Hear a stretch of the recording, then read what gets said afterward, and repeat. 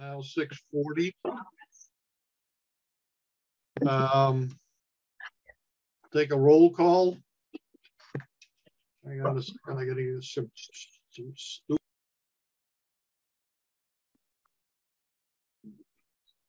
Uh-oh, what happened to Peter? We lost him.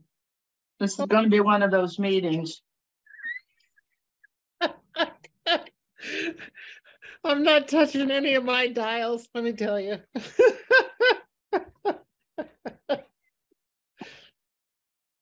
Looks like Marie went to help him. Oh, okay. Well, Yeah, you're sitting here.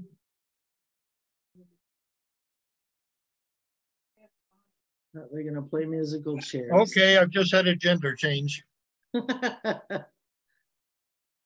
Um, all right. Let's see, roll call. Carolyn, you're here. Yes, Uh, Jay is not. Ollie's here. Yes, thank you. Kelly's here. Yep. Diane's here. Okay, so we have a quorum. And I'm here. Um. Is there anybody, is there anything that we need to add to the agenda to- for tonight? Hearing none, we'll pass that on to old business approval of meetings or minutes from February twenty-seventh and March thirteenth. Holly had sent me a couple of corrections for the February twenty-seventh meeting. I made those corrections and sent out a second copy. So we'll use that copy if anybody had any. Can you I'll make a motion to accept the minutes of February twenty-seventh as amended. They look fine to me. I'll second. Okay, Holly? Um, I actually feel there's still another correction. You pulled out the other discussion items. But it still looks like it was reported by the parade work group. Well, it's just, it's about the parade. It doesn't have to do with the, anything to do with anything else. That's what, that was the course of the discussion. So that's why I put it there. Um, but that wasn't all about the parade. That was about advertising. That was about the chicken barbecue. That wasn't all about All the right, put a parade. subheader on it. Give me a subheader and I'll, I'll change it again. It just, Well- this is, Well, eh, eh, I said the rest of it was general discussion. It all wasn't. right, so from I put general discussion then. It's headed Okay. with general discussion. Okay, fine. If, if everybody else is happy with it, it's just not parade info. It's indented like it's under the parade. That's all. New paragraph. Make a space. Put a notation in your, in, in your notes there. All right. So it's been moved and seconded. All those in favor? Hi, Holly. Hi, Carolyn. Hi, Kelly. Diane, right. did you vote yes? And for March thirteenth, I have a amendment. what's that? I have something I would like to address, one of the comments in the minutes. Uh. All right, I'm gonna, well, tell me what it is. I'll have to go get it, but. Huh? Okay. Gotta go back? Yeah, hang on, I'm going back to my desk. No, it's okay. It's a small thing. I think it's very, very easy for you to um address if everybody's in agreement. I'm, I'm sorry, he just needed to go back to his own desk, so he had a workspace to work on.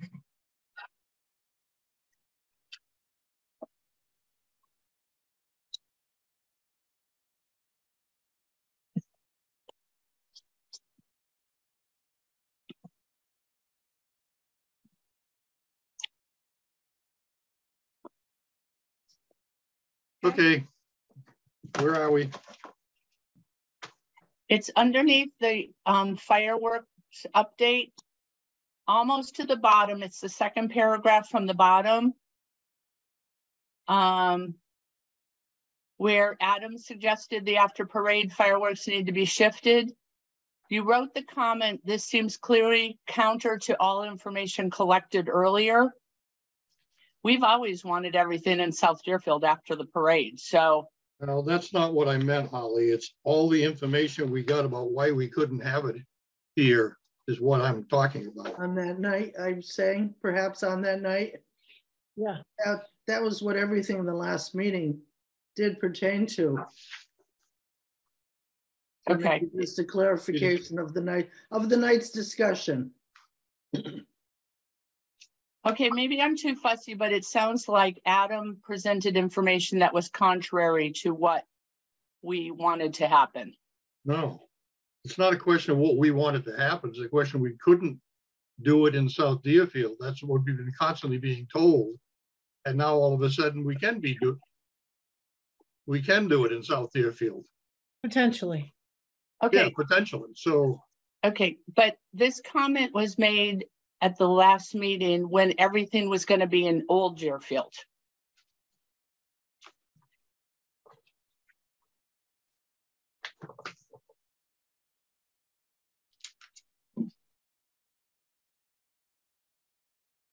where, so where are we? Sorry, I'm, I'm not finding, oh, fireworks. Okay, the second page. The, the second from the last paragraph, I just would oh. like to strike that one sentence. All right. Oh, Sure. We'll strike this, if that works. okay. Any other uh corrections in here? I make a motion to approve the minutes as amended. All right, I'll second that. okay. All those in favor? Hi, Aye, Diane. Holly. Hi, Carolyn. Hi, Kelly. All right, it's approved. So I will make those, I will make the correction in the revised. Let me see if I can find the that first one too.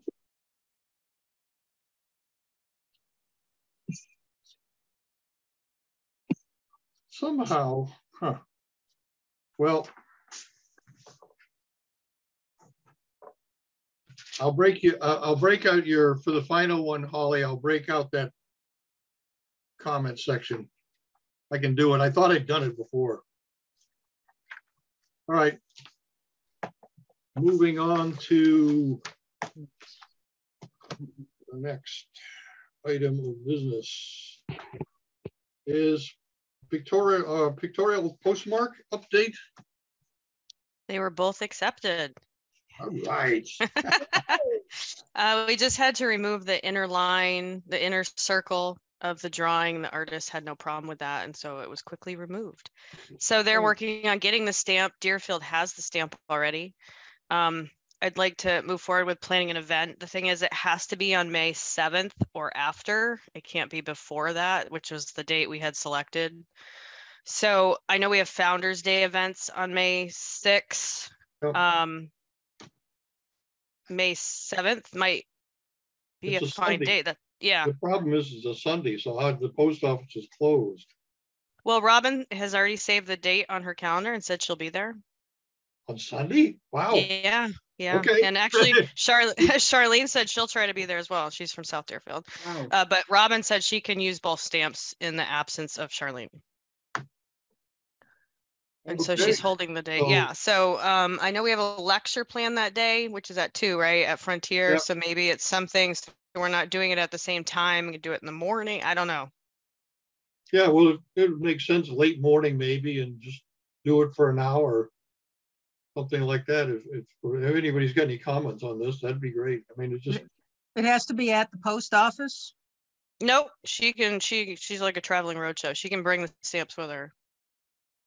Well, why don't we do it at the, um, can we do it at the speaker event? Do it beforehand for the two hours beforehand?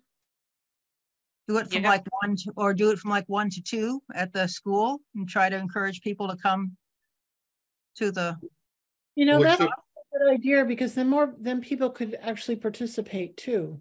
Mm-hmm. So we just need to reserve that through Scott. well, we're We've gonna, got- Marie, we're gonna have problems with the church Not necessarily, because we could, um, um, I'll check and see exactly what time they're done, because they were totally gone by the time I got there at one. So find out what time their thing is, because we could just set up right in the front, as you first walk in, we could Yeah. set up right there.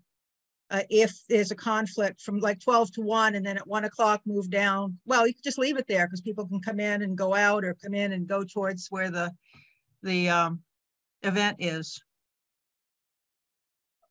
And we'll, we'll just have to have a bunch of stamped envelopes ready if people don't bring their own. Yeah, I have a plan. Like my thought was is letting kids setting up a couple tables, letting kids write letters to themselves in the future. We could have the envelope stamped. We can maybe put them in the time capsule or something like that, and then um, have some stamps for people to take home if they want. I don't know. And then Robin said the kids can't actually touch the stamp and do it themselves, but they can stand there when she stamps them, and then they can take one with them. I don't know the two the two winners but I have some thoughts. I just hadn't really put much effort into it until I got word that the stamp was approved. Well, let's talk about it some more, but I Okay. think, I think we could work something out and because it's May, um, we could set up the tent outside too if we had to and just do it right outside the building. You know, right in front of the building. The only risk would be if it's windy and all the paper, but Yeah, but I think we could probably do it right inside the door. Mhm. I'll just, I'll just talk to the, the church group and tell them on that day, we might be there a little early. Cause uh, Scott says they're very accommodating and Okay. they're, eh, you know, so that they might break up a little early or something. So I don't think it'll be a problem. Okay. Diane? Sort of an odd question, but is it a stamp, like a postage stamp or a cancellation stamp? The A cancellation rubber, a rubber, a rubber stamp like that It goes in the cancels it. Pardon? It's the stamp over the stamp. It's the The stamp cancellation. Over the stamp, it's the cancel, okay, the cancellation. And you have to have it done on a, on a stamped envelope. So they'd have to bring a stamped envelope or something like that with Yeah. them, okay. Right, we yeah. can- I mean, our plan have is to some- We can have some ready and just sell them to them for fifty Yeah. cents or so, or whatever, sixty cents, whatever the st- cost of the stamp is, Alrighty, you know? okay, thanks. It may be something too, if we're working with the, the school kids, Diane, to just let them know ahead of time that that's going on. Um, And we can advertise it when, you know. Yeah, they can do one of their take and homes, stuff. one of the take home announcements or something like that. Yeah, and we, we can also advertise it through the school's newsletter and things. Yeah. Yeah, I have a, I have a whole plan. I just wanted to make sure I had permission to pick Okay. that date. Yeah, I had, I had a feeling you had, you had the parent teacher link in there too also, so, uh, yeah, go ahead with that one. Okay, All right, so we're, we're good on this and you will work out the details, but uh, this, that's great. All right. Uh, next item here is post parade weekend activities update. And plan for advertising. Anybody like to venture this one? I think Chris, we should ask Chris to give us an update. Maybe he has more of an update since this morning. Um, well, I mean, this, this all ties into the whole fireworks situation, right? And so we uh, recently identified a creative option for South Deerfield uh, because we do believe we can work with the railroads and the state fire, fire marshal to actually create a safety zone that spans the railroad tracks, which we didn't think was possible. Um, we think it's possible now because of recent examples in Massachusetts where this has been done. So we have concrete examples where it's possible to do. it. Um, and especially because that railroad track isn't heavily traveled, we can coordinate with the schedulers and the people that control the tracks to know exactly when a train might be there in Deerfield, South Deerfield. So, so, and the fireworks company would actually do all that in terms of upfront work with the fire marshal and then tracking it on the day of the event in case there's a delay, et cetera. So, so the ideal situation, going back to what Holly said, is if we could set off a, a decent fireworks display in South Deerfield with a great viewing location, which would be mainly Frontier Regional School fields. Uh, not the track and the football field, maybe one set of bleachers. But we, because of the safety zone, it would cross into the track. Um, and so we wouldn't want anybody on the track football field. That would be the caveat there. But then all the other fields, the baseball fields, there's a couple of soccer fields. At least when I look at aerials, I'm not exactly sure how current they are. Um, we could have people and events there and then leading up to fireworks viewing. So it would be a rather spectacular viewing location with parking at Frontier Regional and Deerfield Elementary and on North Main Street also mainly um, on the part that's there close to the center of town where it's very wide and you can put cars there without blocking traffic. So, and then people could walk to the, to the viewing venue. Um, so, so, you know, I'm jumping ahead in terms of a Friends of Deerfield update. Well, where are we at in terms of this option? First of all, there's four property owners involved in the so-called safety zone, safety circle um, that we draw on these maps. Um, and um, we have sign-offs from two of them right now. Um, the other one is um, the main one, which is uh, Pekarsky's Field, uh, which is just between the railroad tracks and the South Deerfield Fire District and EMS buildings. Um, couple, couple questions that will be answered by the fireworks company, but I, I don't see any issue there. And then uh, we have one other property owner that would be in a small part of the safety circle, and we're working with that property owner also to answer any questions, et cetera. And in fact, as of today, we're scheduled for the um, fireworks company experts to come back to South Deerfield next Monday and be able to meet with property owners and a- answer any questions or concerns. Never mind meeting with the hired police chiefs and their staffs to make sure how we're going to secure everything and organize everything. So there's a good probability. It's not inked yet. It's not done. It's not all signed off on by all property owners. Um, but there's a good chance that we could have fireworks a fairly, it will be an impressive display um, from across the railroad tracks from Frontier Regional Track and um, and uh, football field, and that then Frontier Regional becomes an obvious viewing point and uh, post parade events point. And that was always the preference, as Holly said. Um, we're getting very creative and pursuing all the avenues we have to deal with railroads and state fire marshal, but we're pretty confident if the property owners um, agree um, that we can organize this and it'll work out better from a traffic and parking control plan too. Right? All right. Wish you the best. Thank you. Just to hear how you, you've been working very hard, trying to find options and uh, this is a nice one. You're pursuing it. Thank you. Thank you. I hope you do well on, on getting all the permission. Holly? Um, two questions. One, um, will there be other than fireworks considered as part of this mix? And two, um, we need to be clear that the parade work group has the Frontier and Deerfield Elementary lots tied up till probably close to five. Yeah, um, so, um, I guess the assumption would be that all post-parade, pre-fireworks activities would happen at Frontier Regional School.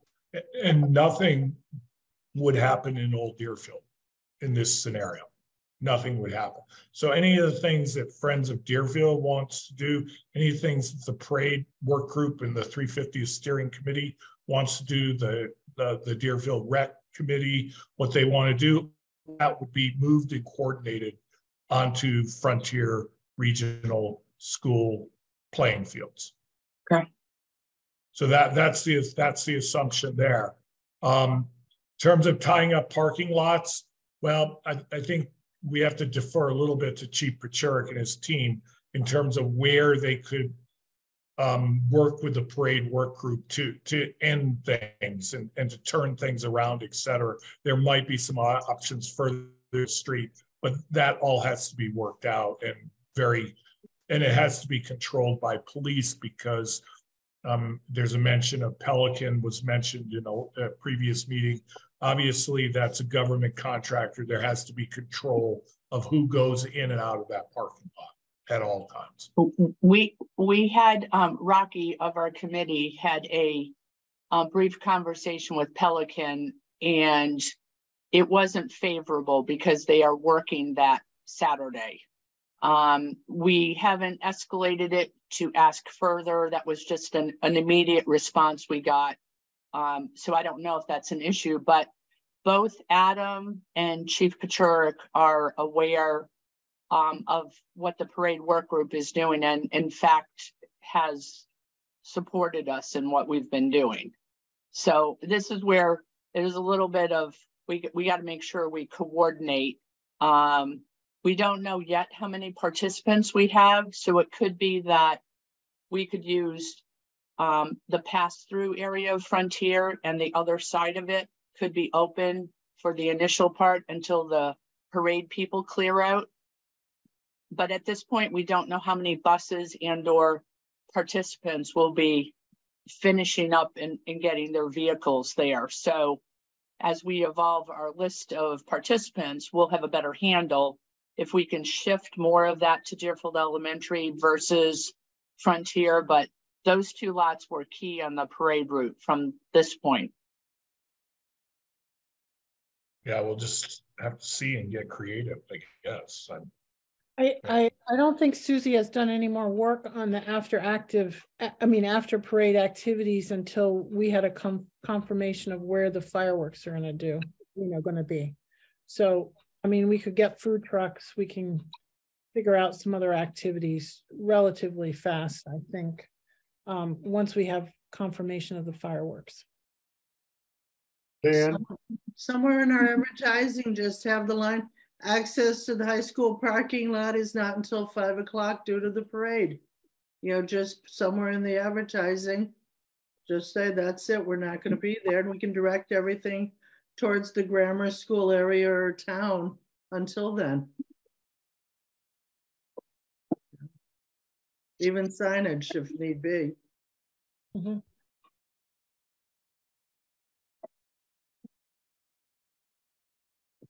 But I like the idea. well, it sounds like we've got some good projection forward and, and, um, a, a lot of what we're gonna need to do is just work out the details as we get different components of what's gonna happen.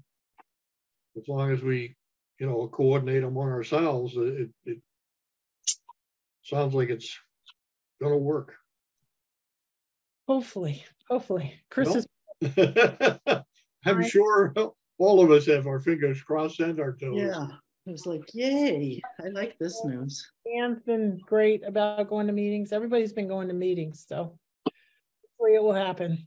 Holly, Um, I'm delighted that we're gonna have something in the village, um, where the parade's gonna finish up, because I think the continuity is gonna be good. So thanks for all the efforts in, in trying to do that. Um, the parade work group met last week because the presumption was when we met two weeks ago, we would have information about advertising within two to three days. That hasn't transpired and it doesn't look like we've got things shored up enough to advertise everything.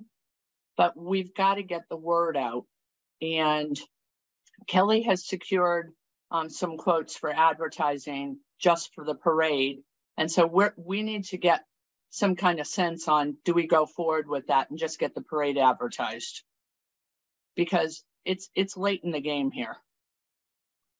is the advertising, this is like the newspaper and that sort of, that sort of thing? mm-hmm. Digital and You print. wanna, you wanna just fill them in on what you got for a quote?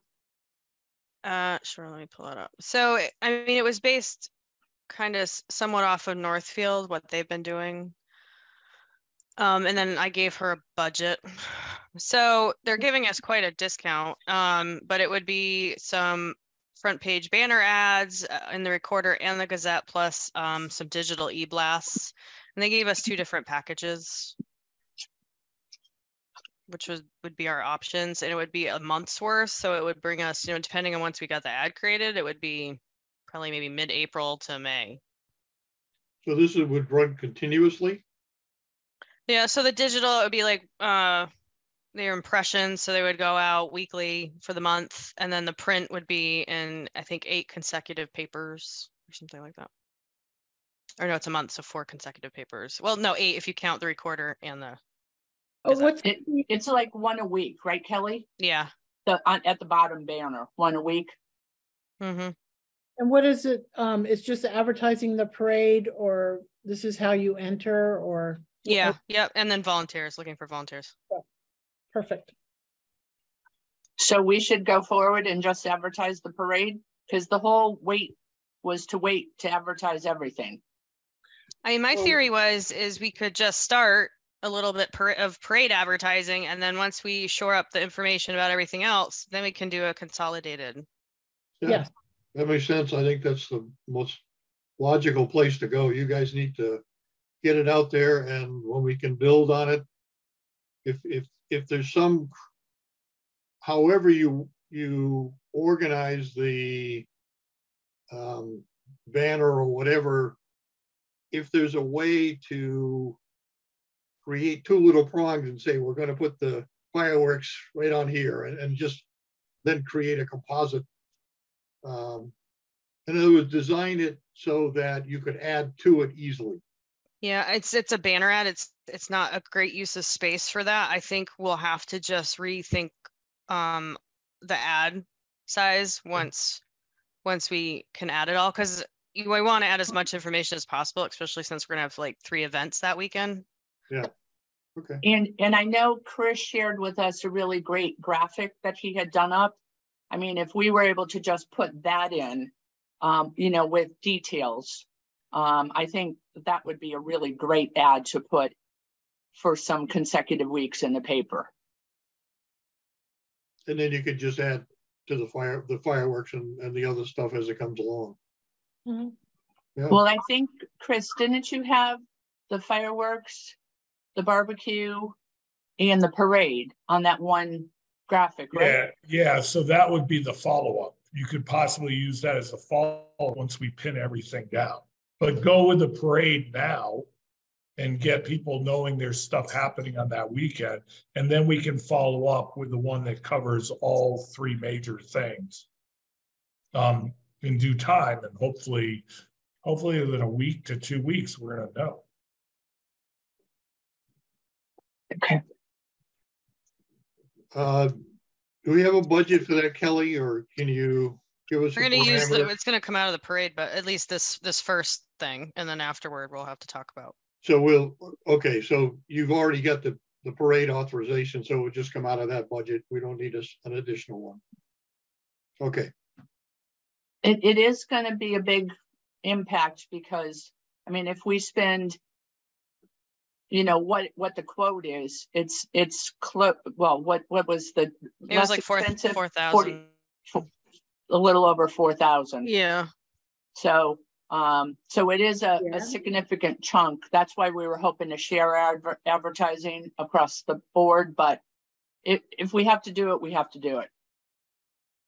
well, I understand. I mean, this, but, and, but there's money, there's money's in there now. I mean, we don't, I, I don't think money is the issue here. No, if that's part of your budget, don't, don't worry about it. Van? Can we put Founder's Day in that ad? Is this like a space? Is it a small space or a? It's a small space. Um, I had wanted to do a full like year's run of advertising to, I mean, um, a full ad of all of our events. Uh, which I don't know if that would actually come together because now it kind of makes more sense just to focus on the weekend solely. I mean, we could consider doing a small amount of advertising for Founder's Day if you have firmed up your details. Um, we've got enough to give you something. I can always text you something afterwards, Kelly. of, um, we have, we have a few things that we can just, you know, ringing in the bells, lawn party, music. But I think, like that, I think know. things like this, we can get uh, papers like the Greenfield Recorder to run free as just a public announcement, public service announcement.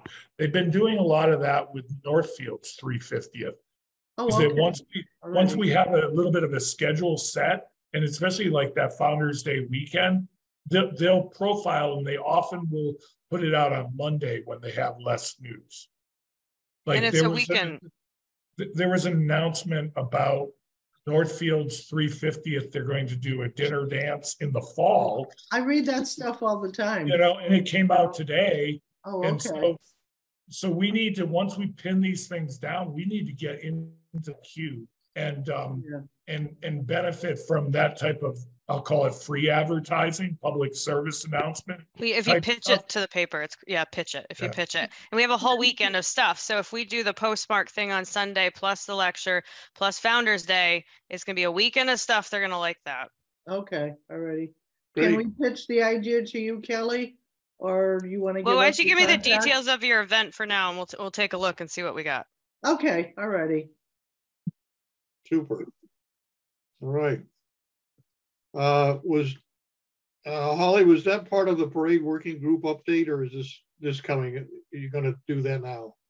Um, I don't, I don't have a ton more to add. Um, we got the okay from Deerfield Elementary for parking, Frontier Regional for parking. Uh, we actually had, um, we're trying to make the right contact with the right, um, faculty member at Frontier, but I guess they're community service students.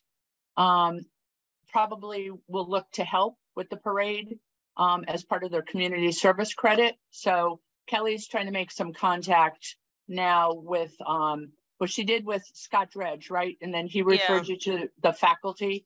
Yeah, which have not responded. yeah. So anyway, we're we're working on that. Um So you the got- you got Frontier Re- park- Sorry, Holly, uh, you got parking at Frontier and what's the other one? Deerfield Deerfield Elementary. Elementary. Okay.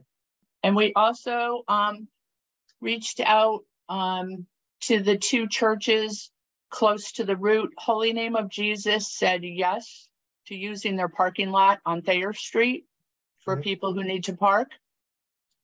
They are gonna put a float in. And they said yes to sharing their bathrooms. So Oh, people will have a restroom stop there. We're asking the same of Holy Family, but the information took kind of like a a circle route and it's now in the right hands, so we're just waiting to hear back. Um well, what else? What else? What else? Would there Um, be, Holly, would there be parking also at the DPW area? Or is that new? No, that's a staging, that's a staging area. Uh, the one on, the one right across from Eastern Avenue on Sugarloaf. Oh, Oh, no, our town DPW, not the, Yeah, hi- Oh, um, there isn't enough room there. there Okay. isn't.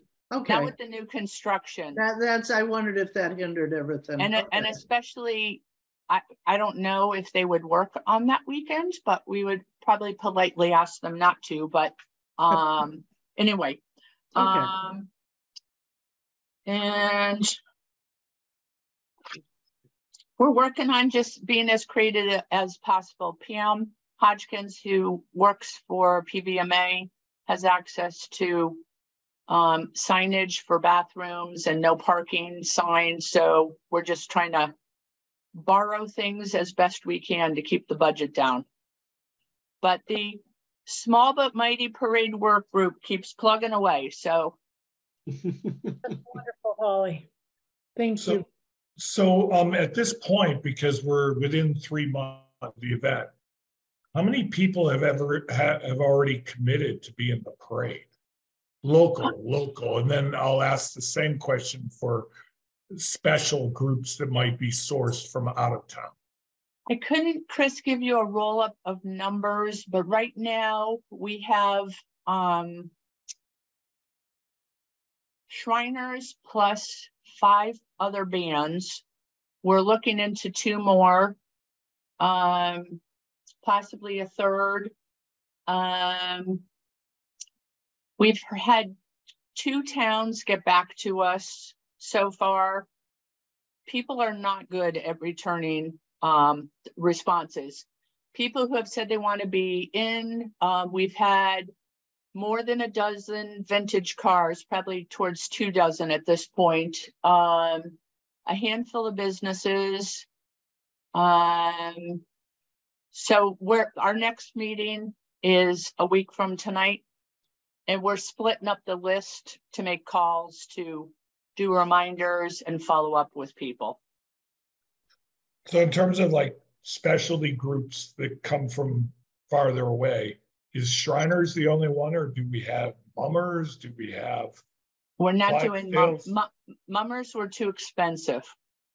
okay,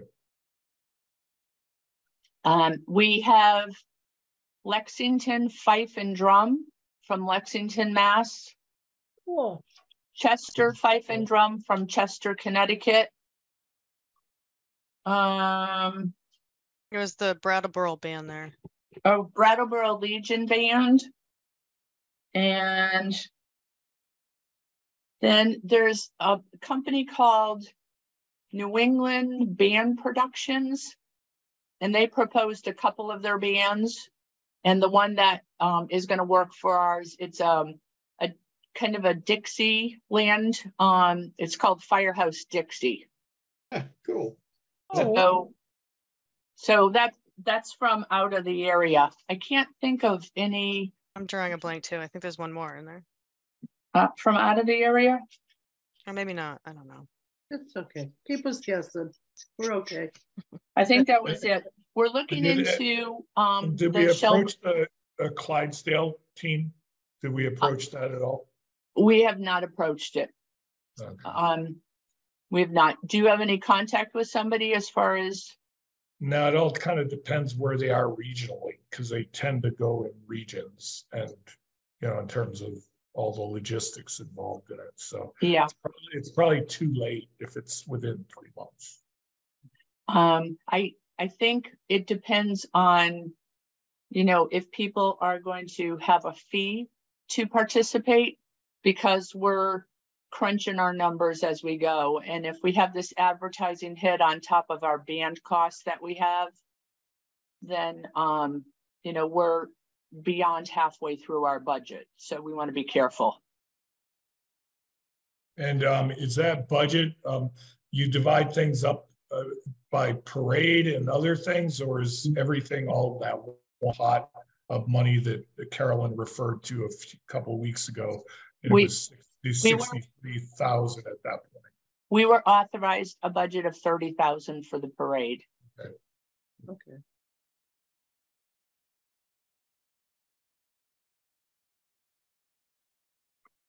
And then um, we had a question that um, you, you've answered kindly all the questions Friends of Deerfield had, but we had a question, various questions about, and one of them that didn't get totally answered was, are you going to allow like farm vehicles and commercial vehicles into the parade? Yes, well, what do you mean by commercial?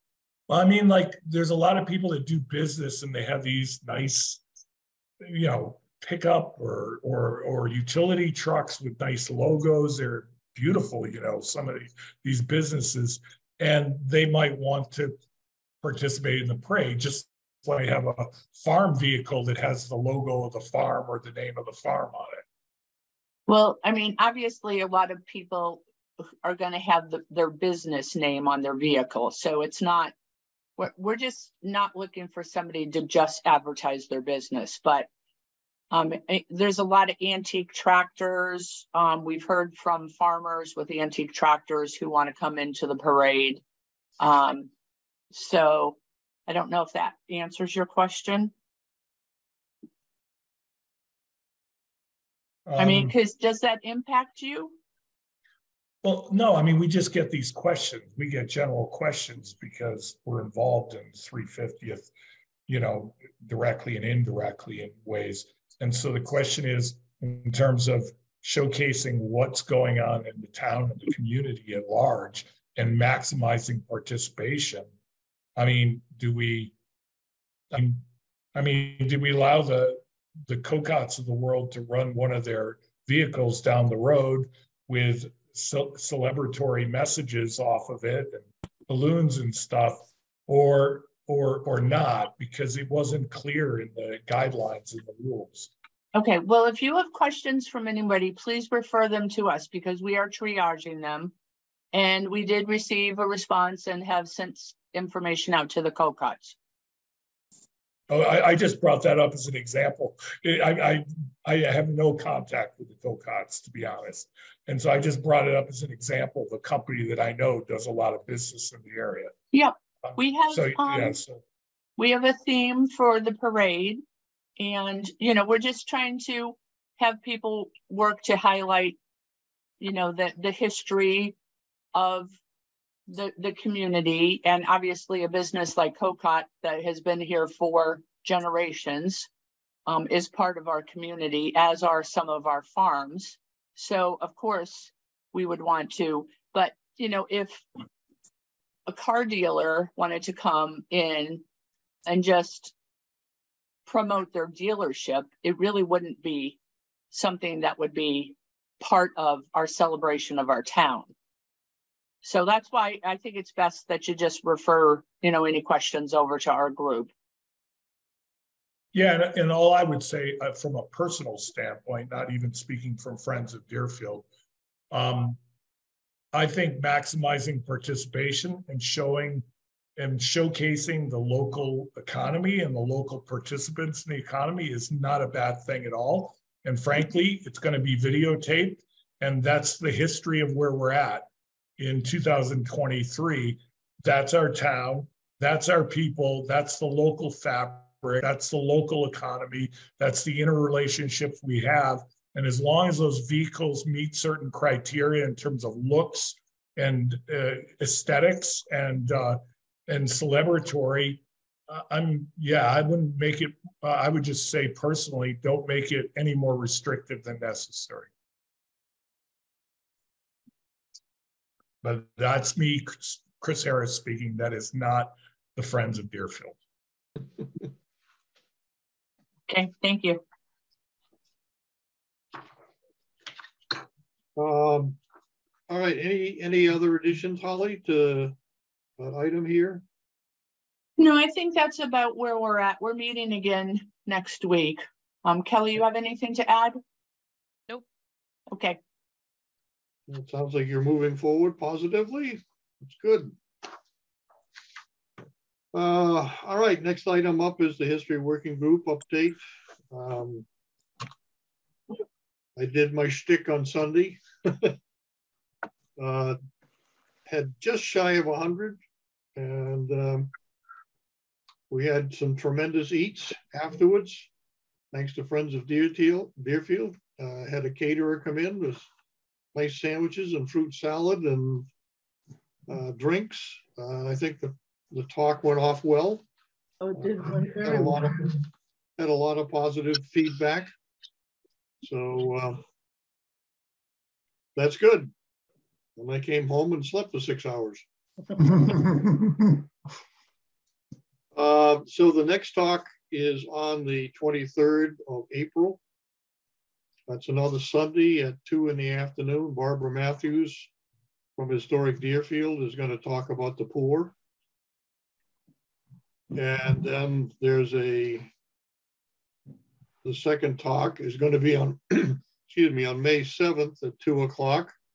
Gary Sanderson, who's been researching the development of particularly South Deerfield for years, uh, is going to give a talk on a new interpretation of Bloody Brook, the Bloody Brook neighborhood, which um, we've been kind of working together on this for a while, but with the earliest house we have down here is 1757. Uh, so it's South Deerfield older than one might anticipate uh, based on its current uh, appearances. Um, the oral history interviews are going well. We've got over 25 uh, done to date. Um, and we've got more scheduled in. Uh, and multiple people have um, brought their old family photographs and, and other photographs in. Marie's been working with uh, Tom Clark uh, to create sort of a video collage of things he's going to put together for the walking tour of the peach, for the peach orchard. Peaches? Yeah. Well, Uh, anyway, um, that's coming up on April 22nd. And he's going to focus on the history of the farm. And we've got, we're, uh, she, he's bringing in photographs that we're going to work into a presentation as well as the uh, uh, one room school and wisdom. So we've been working up those two uh, things and Marie came back came back today with something. I can't remember she's got a number, but it's something like 70 some odd uh, photographs from the Bradleys uh, that they're sending in from out of state because they're, they're, they're, that's where they're living. But 50 something like 50 some odd emails with photographs attached to them today uh, when she was set up this morning. So that's that's it for the uh, history group. Um, You're, um, are you, how are you advertising the historic talks? I can't believe, that's wonderful. You got a hundred people. Um. Do you have the, I mean, since you gave the rest of the dates, do we have a, can we post them somewhere? Where are they posted? well, yeah, They're- we're yeah. we're we're posting them on the 350th. We're posting them on historic Deerfield. I'm posting them in historic Northampton. Uh, we're sending them to Northfield, and we're putting them in the paper. I've created Facebook events for each of them and I've been posting them out through there. And then Northfield also shares them. That's wonderful. Thank you. I just wanted to make sure we are having, you know, surprisingly, not a lot of people get the newspaper anymore. So, you know, we have to use social medias, media at some point. Even people who subscribe to the newspaper don't always get their newspaper. I can tell you that too. How about, how about FCAT? Yeah, FCAT is recording all of the things and uh, we did send the uh, information to FCAT to put on their bulletin board. Okay, Yeah. But we And usually so- mostly the internet and social media, but things are getting reposted in a number of different places, a lot of history uh groups. And then the the local groups too. I mean, there's Deerfield now is an incredible tool. There's so many people that are on that. Uh, and then people who don't have the internet talk to each other, so things get, things travel, news travels fast. Good. Yeah, and I think one of the things, we had some handouts for future talks at the talk itself. So Oh, people coming in can take those slips with them and hand them on to other people and just as a reminder them themselves. So I, I think we're, we'll be doing okay. I, I didn't see anybody or nobody came up and introduced themselves from really being out of town, but the. uh, Yes, yes, Warwick, there's some people came from Warwick. Okay. Yeah. And uh, there's also the uh, Northampton Historical Society is is posting that out, and they've got a readership of like ten thousand people. So, I mean, I I think it's getting out there, and as as the talks go on, and I think the quality of talks will remain good. Uh, that word will get out too, and, and so people were. It'll be a known thing rather than oh, here's the first one. Well, maybe I maybe I'll go, maybe I won't. So, but yeah, we've got to. Not- Not to mention the quality of the refreshments. That will bring people in too. Refreshments was was- great. Wow. Yeah. I got a Facebook message for somebody that said how great it was. They enjoyed it. Good. Good. Thanks very much. So just a question, Peter, ha- is this schedule go beyond May seventh? Is there anything in June or later in May? Uh, I can see Marie scurrying around. Yeah. um, Uh, there's some, De- um, Historic Deerfield has some talks this summer. So we have one in April, one in May, and then we go to September, September, October, November, December. So there's nothing in June or July or August. But there's a lot of stuff going on through Historic Deerfield then. three, there's three talks being given in July, uh, Chris. On the, I think it's the thirteenth, the, the sixth, the thirteenth and the twentieth. Um, there's a summer speaking, uh, uh, Deerfield, historic Deerfield speakers uh, series in the summertime. If we, if, if there's some space that you are thinking about you, you- and you want something uh, to happen in terms of a talk, I can probably cook something up. Okay, no, well, no, no, I just, I just want us, friends of Deerfield, to be prepared for what's kind of penciled in, in terms of schedule. That- I thought I, I thought I sent you the schedule.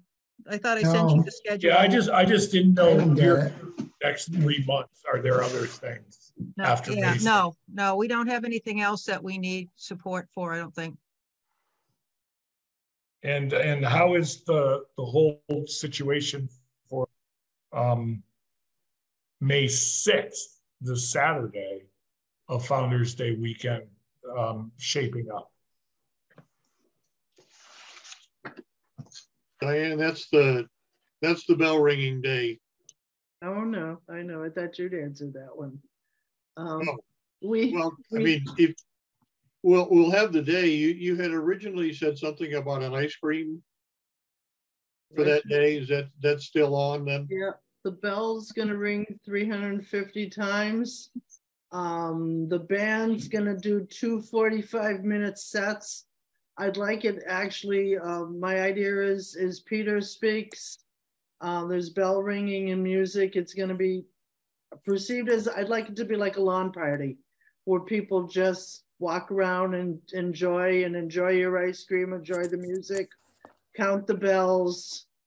Um, I have asked Stone Soup Culinary Institute uh, if they'd like to come and, and sell some sort of yummy. Um, they are still been in contact with me. Uh, it, it, that's a possible that might, they may show up. Uh, Carolyn, uh, do want to ask you a question. If they do come up and they are serving food, do they need a permit of any kind? Yes, they need a um temporary permit. Is that hard to get? No, no, you can come to the Board of Health and fill one out. Okay, they would have to ask for it or would Um, Deerfield or, you could, you could get the application for them, but they would need to fill it out. They have to have their, you know, name who their certified ServSafe person is, you know, that kind of, okay. what kind Uh, of, What's it, what's the heading of the, what's it called? Uh, Board of Health Food, temporary food application? oh, the food permit. The Food Board of, permit. And you can just call our health agent, Alex White. Okay, that was my one thing. So anyways, they, uh, they actually might be coming. Um, we're working on other things. Um, whether or not it's gonna be made, well, most of it's gonna be on the lawn. On the lawn between the church and the library. As I we, I discussed if stands in, the stands there somewhere. Um, he did discuss that you were gonna have the, uh, the ice cream, Chris. Yep. And, um, it's, it's not supposed to be a, a, well, how do I say it? Just gonna be ringing the bells and people having a, like a lawn party. Ice cream social lawn party. Holly? Um, what, what if there's weather? Um, the weather, it's gonna happen with weather anyways, I think. I'm not sure what to say. The band is coming. The next day is gonna be speakers and stamp postage um, at Frontier, so uh, if you have to bring an umbrella, uh, there is gonna be a small tent that the band's gonna be under. I believe the ice cream's gonna have a small tent, Marie, um, But we have a ten by twenty foot tent Yeah. that we can bring. The band's gonna be under the yours. I'm hoping for yours and, uh, And, and who is the band? Farley String Band. It's an Oh. eight, eight person, um, what do they, they do Celtic and Scottish reels and stuff like that. I asked them to play a little bit of American songs and, um, we'll see. They may be able to. I asked them to play stuff people can sing along to. You know, something that's familiar. And it's mainly about socialization. I think, in fact, even that's what you talked last yesterday, Peter. Uh, we all learned a lot about the beginnings of Deerfield, but I think the enhancement was people got out, went out in the hallway, had some food, and were able to actually socialize with each other. It's been a long time since Yeah. we've actually been out, so I, I think that's that's my main idea is get people out, get them out, get them used to seeing each other. If I have to actually say it that way, be it COVID gone for so many years, well, not so many, but because of COVID, we stopped going out. I want people to come out on Founders Day to come out, just walk around. Even if you're just walking on the sidewalk and not interacting, just come on, get out of your houses, count bells. And then it gets people more inclined to want to come out and watch the parade in the next month to be more involved with just stuff around just cause. Dare I ask if we've got the um, church situation sorted out? No, we don't. We're not gonna discuss What, that what do we have to do to get to Yeah. yes on that, Carolyn? Um, I really don't know. Uh, we need to talk to the building ins- commissioner and you know, think about it some more. We, we, And- some protest letters, as Yeah, you, yeah. Yeah, what do you plan to do about them? Are we gonna go talk to them and convince them that we're not trying to put our children in danger or what? well, sometimes it's, it's just better not to engage. When, you know- Age three aggressive letter. Yeah. Yeah. But- Yeah, we'll just do our, fi- I have one option, the, the bells will ring, the kids will be outside if need be, and, uh, we'll bring, we'll have tents, if you, if it rains, bring an umbrella. And, uh, I, I think one of the things, Carolyn, we've got to talk to somebody, whether it's the building inspector or somebody else and say, look, we've been, we've heard that the church has this, and we've heard the church has that, and we've heard the church has this, and this is why we can't do it. And I've not seen any proof of any of it. It's just a rumor. I know. It, the air is fine. I use it for my EDS, you know, my emergency dispensing um, equipment. I'm in and out of there myself, so I, I feel, you know, I am allergic to mold and mildew if, and it, it's not moldy and mildew. There's not anything we have to worry about on that. It's just the, the building is closed up, so you open the doors up a little bit and let the air circulate open the windows. yeah, and, and it's fine. Um, the asbestos is, you know, related to the heating system, and as long as it's contained and, um, you know, wrapped, it doesn't become airborne, and therefore it's not an emergency, and I have no reason to believe that there's any reason for the kids to be in this, in the cellar or the basement, so, And, and, and the, the pipes are in the, in a different building. I mean, they're in the attached building. They're not even in the church. and So, I mean, there's all kinds of stuff. The, the problem is there isn't an occupancy permit. So what I have to do is we have to work with the building commissioner and see if we can get a temporary occupancy permit. Using the building is different than having the public access. But if we can figure out a way that, like you are gonna bring in groups of kids, they will be hundred percent um, you know, sh- uh, chaperoned and they're in and out within a few minutes. Um, you know, no one's going to gnaw on the windowsills. I, d- I don't really feel like there is any issues. And I am chair of the Board of Health. So, um, and I certainly am a grandmother. So I would certainly take the health of children 100% serious. But so we just have to figure something out that is legally possible. We'll do it. So should I approach the building? No, I, inspector? I've, t- I've talked to Bob. We just, what we have to do is, is we have to set up a meeting, Diane and Peter and myself and Bob. Yes. We just need to Okay. figure out how we're gonna manage it so that he will feel comfortable, um, you know, with, with what we're gonna do. Okay, that's fine. I'm, I'm Yeah. game. We'll figure it out. Yeah. I'm, I'm not really worried. And I, you know, I, I'm back to what Marie was talking about earlier, I'm, I'm inclined, what, if we can get that straightened out and say these, these are not impediments to using this building, I would be inclined to get a hold of the grannies and just say, look, we've gone through the whole process here. There's not an issue. I, it's, it's Bring- different, Peter, it's certainly different if you or Diane wanted to talk to him or Marie or whoever. Right. Okay, A little bit different than me talking to them. that's fine. And, and, and I don't, I don't mind doing that. But I, we, I, I do, feel I'll feel comfortable if, if Bob's agreeable in terms of saying, okay, we can, we can do this. Um, I don't have a problem with addressing it outside. I- And you don't have to talk officially for the town or anything else. Right, But it's, it just, rather than, we think everything's hunky dory and we don't say anything, and then all of a sudden we wind up having a bunch of screaming people show up down there just to make sure we're not doing something I know. and there's no issue. It, it just, I think it's easier if, We don't need negative publicity. We want mm-hmm. positive publicity. We don't want negative publicity. No, That's absolutely, you know, our concern. We certainly, So she. But if they want to bring a transgender dance troupe, that might be very entertaining. So that would be fine, you know? Yeah. we'll even, we'll even have the music for them. Yeah. They can, they can dance a jig.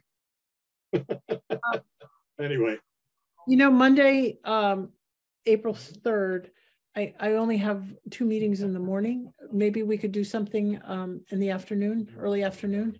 If I set it up with Bob, would that be convenient for Diane and Oh, Peter? Yep. Monday, Or whoever? Yeah, Monday, April third. Let's, let's, I don't know, I'll, I can talk to Bob, but, uh, I, I'll say like one or two. I'll confirm some, sometimes he has set inspections, so, um, let me see what his schedule is, but I would say like afternoon. My, my last meeting starts at eleven, so I should be done by noonish. okay. Uh, just as long as we're, if you're gonna be down there, uh, let's plan on twenty minutes down in the cave. I want to show you how far I am with the, Oh, sure, sure, yeah, I'll be, getting pretty much through with the, with the documents. okay. All right, that's lovely, thank you. Um, I think that's, is that the end of my, oh, no, here we go. Uh, updates, Friends of Deerfield. So, so I, I'll take the lead on this one. Uh, I think we've covered, um, a lot of what was on my short list, but just an update on the Sunday, eighteenth of June, uh, chicken barbecue. It'll be held at Deerfield Academy, uh, Tennis Pavilion. Um, we are selling, actively selling tickets now. We'll ramp up that website and through other social media outlets, et cetera, and through some physical advertising, once we can sort out all the venue issues so that we can use, you know, flyers that cover the whole weekend. Um, but I think we've sold, uh, we're pushing hundred tickets at this. And, you know, our goal would be uh, about five hundred to six hundred.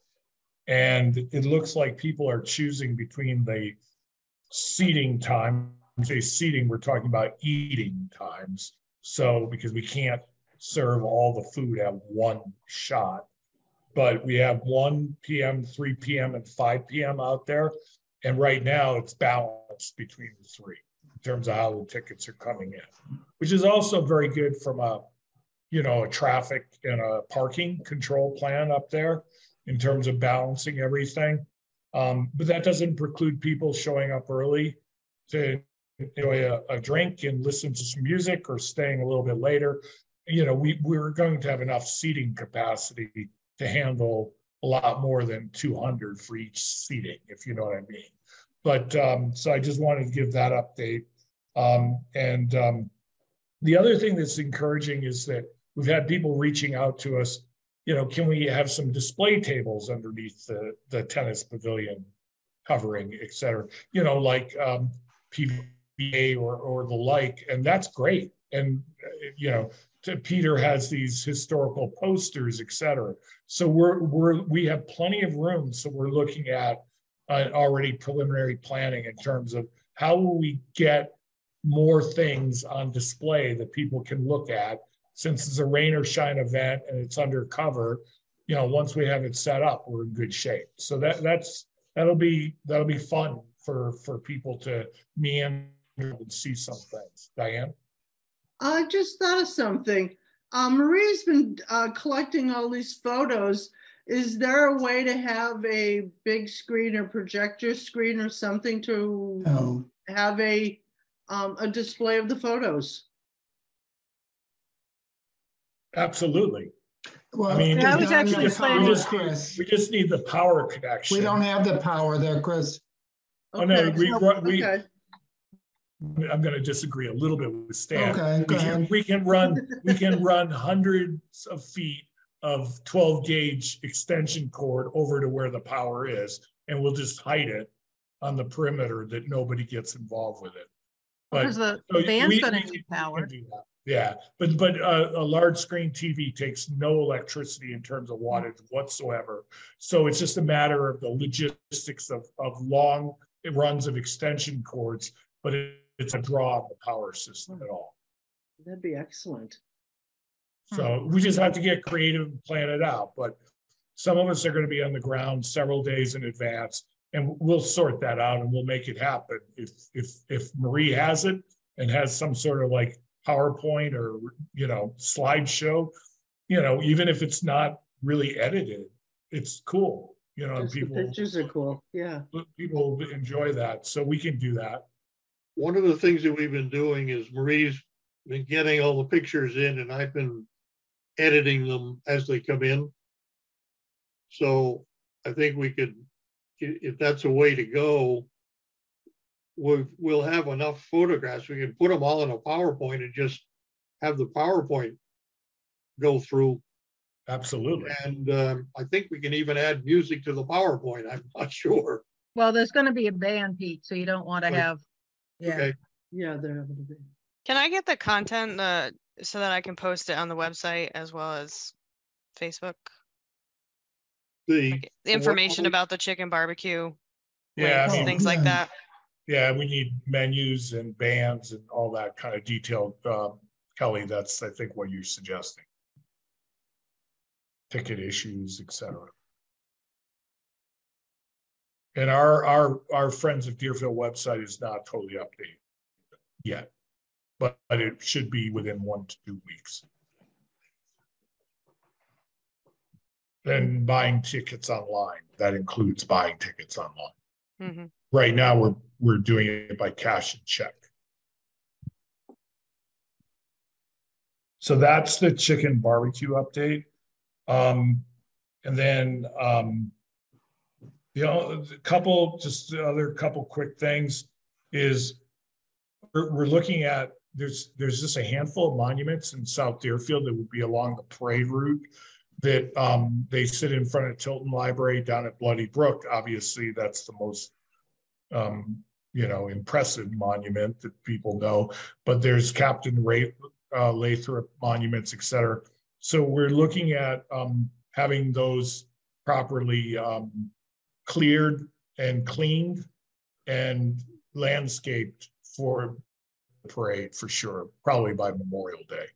That is And really so- nice. Thank you. And so, so, you know, we'll, we'll leverage off what we know about res- these marble and granite monuments up in the cemeteries. And we'll use the same professional techniques. And um, Friends of Deerfield will work with uh, John Novi and the Deerfield Historical Commission to get the right approvals and, in the right s- scopes of work that are approved. Um, and then um, we'll reach out to uh, Diane Gripko and the Deerfield Women's um, um, group in terms of some of the landscaping too, to just make sure. I mean, they have to be cleaned first, then you do the landscaping afterwards, the flowers and stuff like that.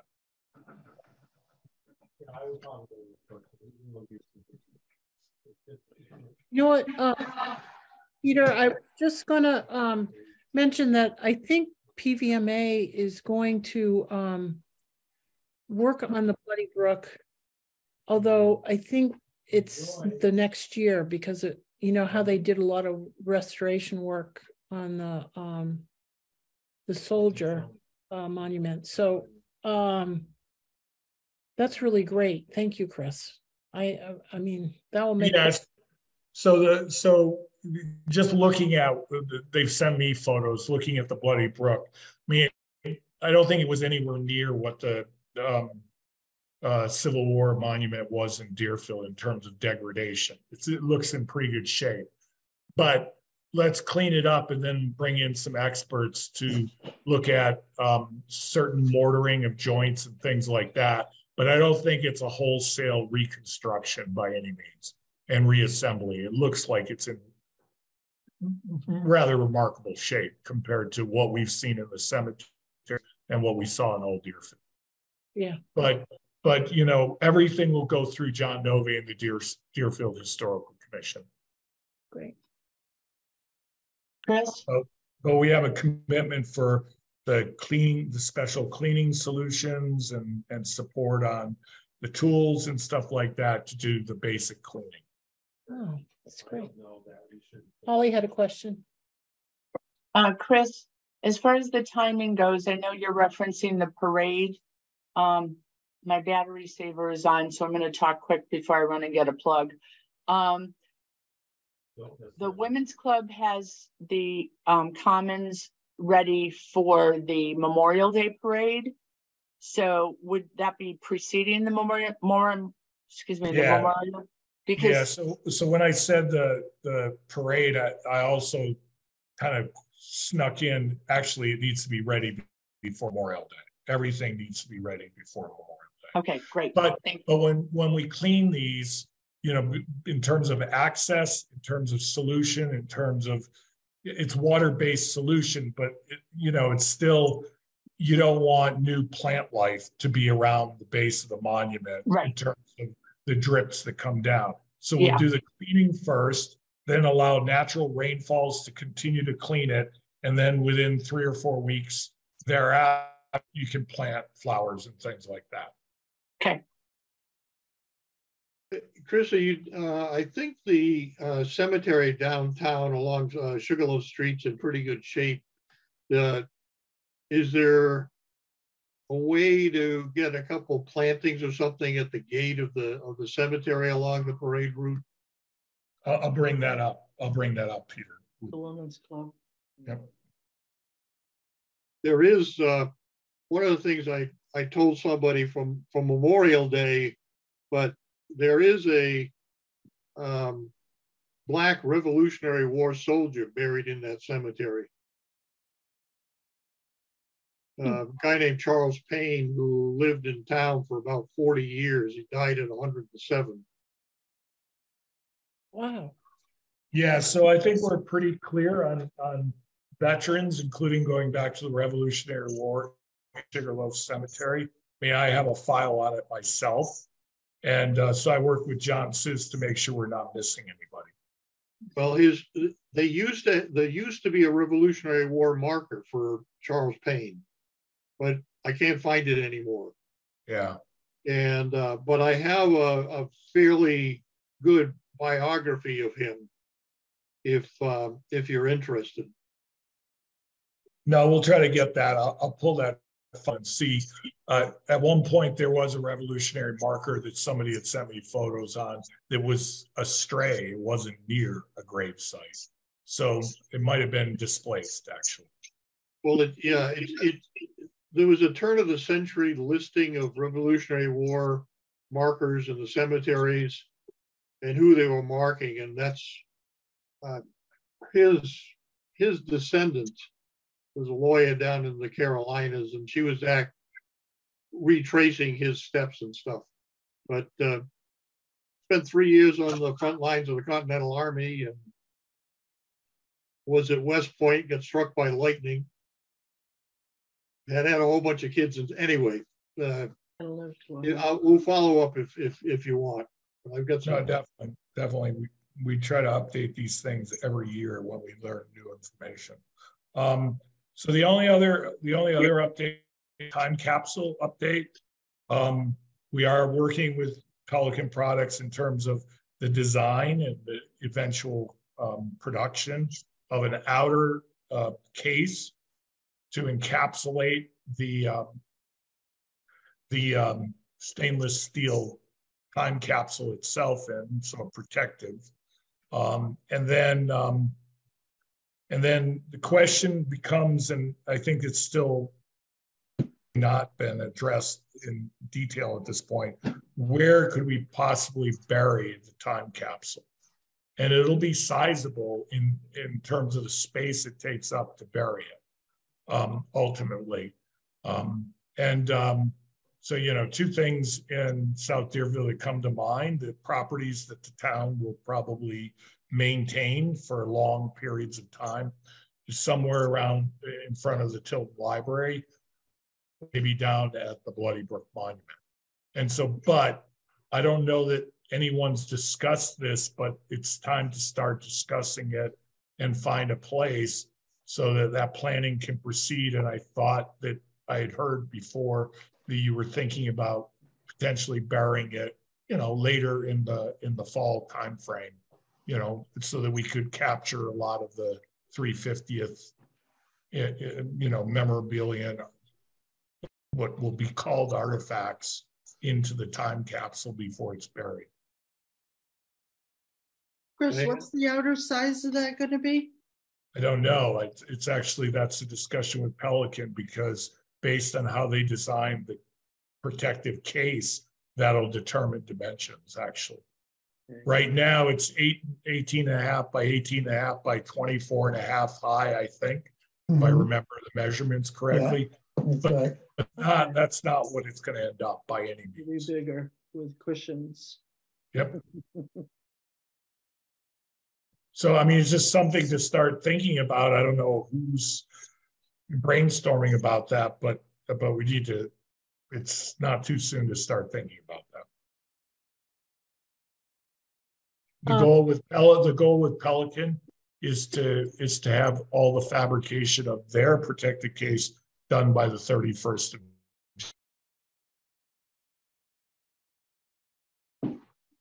What was the date, Chris? The, with Pelican? to have the outer case fabricated and ready for use by the thirty-first of July. That, that anticipates a fall type ceremony and burial.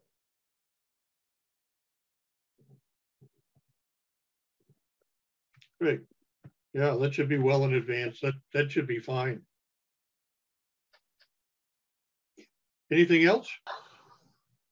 So, I mean, unless Marie or Stan has something, those were the highlights that I had noted.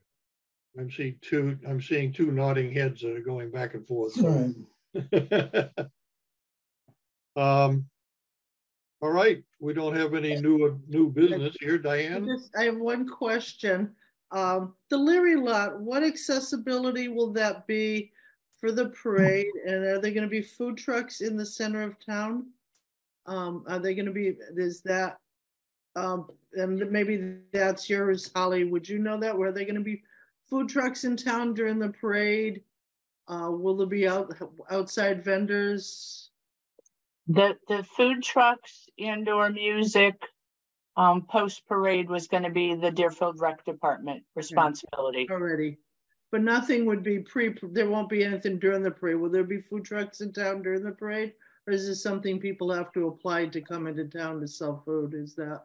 Well, they would have to apply, um, to have a food truck in town, um, but um, during the parade is the parade, so we weren't Okay, worried about Already, The Larry lot, um, I mean, we are moving ahead on it, but it will just be a mowed space. what space, okay, Kevin, Kevin will mow it for us. So that, you know, it looks, it can be usable.